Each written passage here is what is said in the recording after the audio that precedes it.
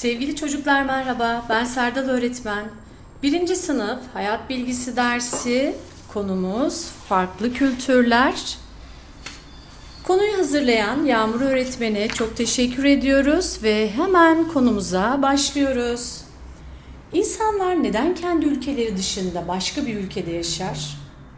İnsanların kendi yaşadığı ülkeyi bırakıp başka bir ülkeye yerleşmelerinin farklı sebepleri olabilir.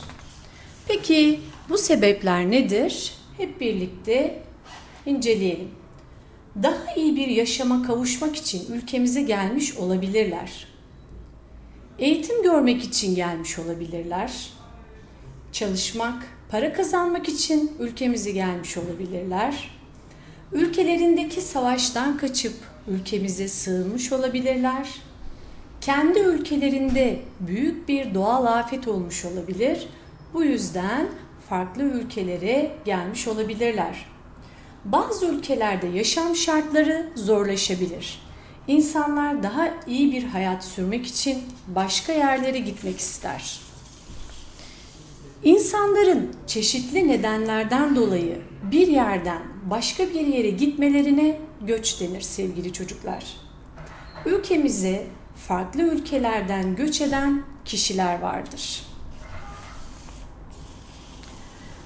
Dışarıda, sokaklarda, gittiğimiz eğlence merkezlerinde, okullarda, kısacası her yerde başka ülkelerden gelmiş insanlarla karşılaşabiliriz.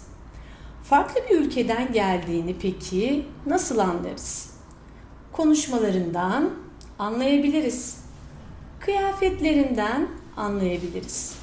Oynadıkları oyunlar, oyuncaklar, dinledikleri müzikler, yemekleri, dilleri bizimkinden farklı olabilir. Ülkemize başka bir ülkeden göç eden insanlarla aynı sokakları paylaşırız. Aynı okulları, aynı parkları, aynı alışveriş merkezlerini ortak kullanmaktayız. Çünkü insanların bunun altını çizelim. İhtiyaçları çoğu zaman aynıdır. Bu sebeple göç eden insanlara karşı aramızdaki kültürel farklılıkları kabul ederek çocuklar anlayışlı olmalıyız. Empati kurabilmeliyiz. Ülkemizde karşılaştıkları zorlukları gidermek için yardım etmeliyiz. Yaşam tarzlarına ve alışkanlıklarına saygı duymalıyız. Hepimiz insanız. İnsani değerler evrenseldir. Onlar da mutlu olduğunda bizim gibi güler. Canı yandığında onlar da ağlar.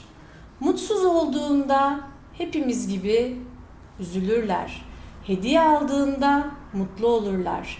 Dünyanın her yerinde her çocuk oyun oynamayı çok sever. Farklılıklarımız olduğu gibi benzerliklerimiz de vardır. Çocuklar bu yüzden farklı kültürlere saygı çok önemlidir. Farklı kültürlerle ilgili anlatacaklarım bu kadar. Beni dinlediğiniz için hepinize teşekkür ediyorum.